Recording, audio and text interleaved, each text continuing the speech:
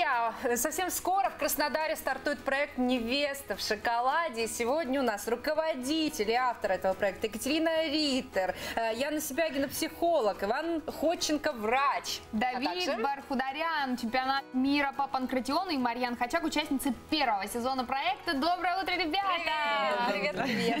Ну, э, скажите, вот в двух словах о проекте, может быть, кто-то не знает о нем, кто-то не смотрел. Доброе утро всем. Хотелось бы напомнить, а, что наш проект «Невеста в шоколаде» он является трансформационным проектом для девушек от 18 до 45 лет. А, Семейное положение в нашем проекте не имеет значения. Любая девушка может прийти, принять участие.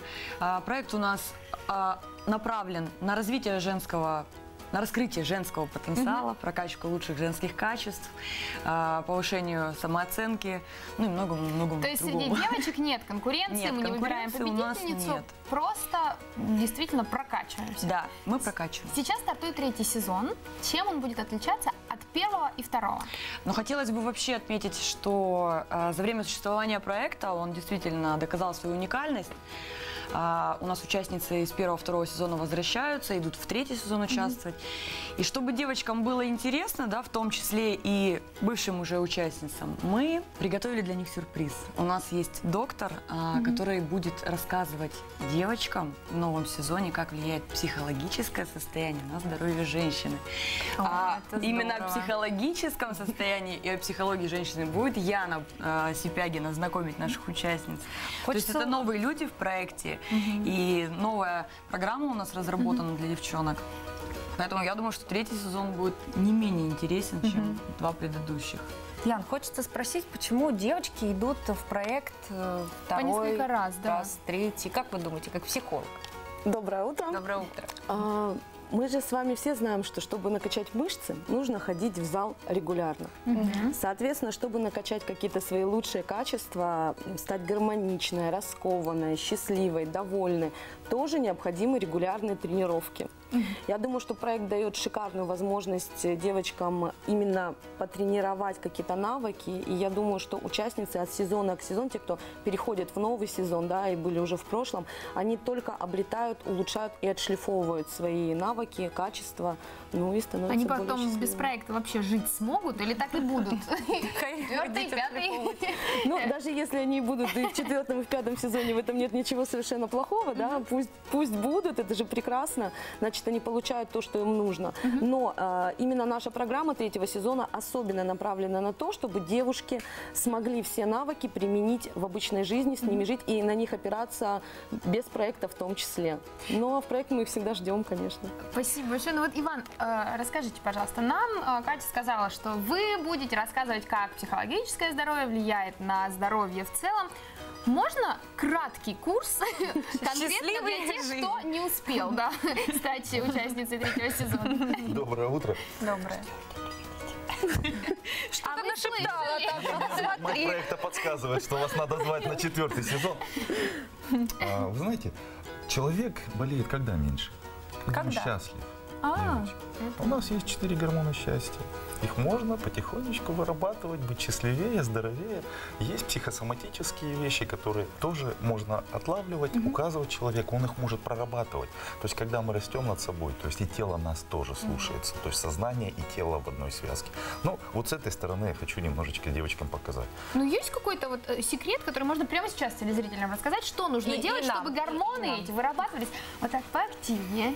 Ну, конечно, занятие спортом. Так. То есть самый э, легко вырабатываемый гормон, вы идете в зал, вы суровый Эндорфины пошли. Умничка, Рада. эндорфины, эндорфины, конечно, да. Дофамины, то есть когда мы выполняем поставленные задачи, мы выделяем дофамины. Но серотонин, то есть мы выделяем, когда нам общество говорит, вау, какие вы девчонки классные, доброе утро. Вот они кайфуют. Пошел, пошел, я чувствую. Это другой гормон.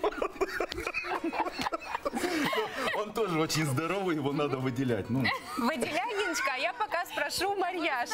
Марьяш, ты участвовала в первом да, э, сезоне по проекта.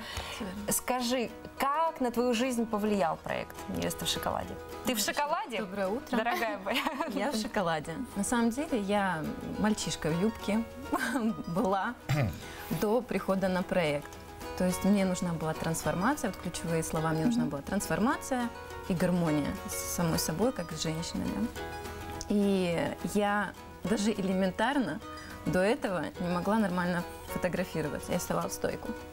То есть И это могла неудивительно. Кстати, Марьяш, мы подготовили для тебя э, видео, э, не знаю, лет пяти, Сюрприз. наверное, давности. А, Это то, как ты снималась в одном из сюжетов на телеканале.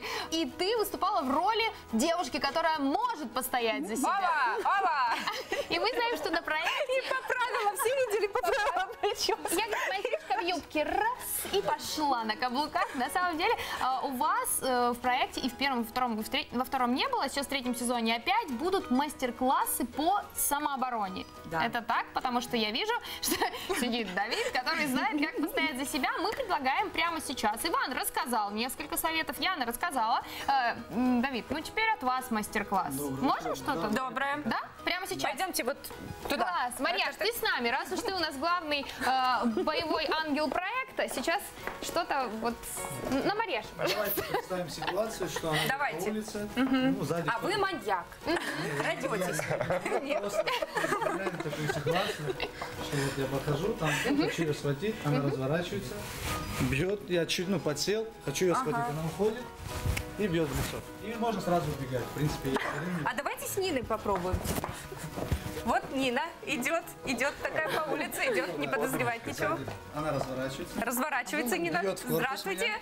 Да. Я подсаживаюсь, как будто хочу ее схватить. Она делает уклон и бьет сбоку. У меня получилось. Отлично. Теперь можно на Машу что-нибудь другое, пожалуйста, чтобы она не убежала? Да, теперь я, теперь я иду, какая иду. Так, Хочу ее схватить, вы Так. разворачиваетесь, бьете меня в корпус прямым ударом. так. Я хочу вас схватить, вы делаете уклон чуть вправо. Так, И бьете еще раз сбоку. вот сюда. Да, вот Привет. Так, а теперь сейчас выясним, как быть маньяку. Давайте так, чтобы она не убежала. Что мне делать? Ладно, я шучу, конечно, Давид, спасибо вам огромное. Э, Друзья, если вдруг что-то пропустили, заходите на сайт нашего телеканала кубань24.tv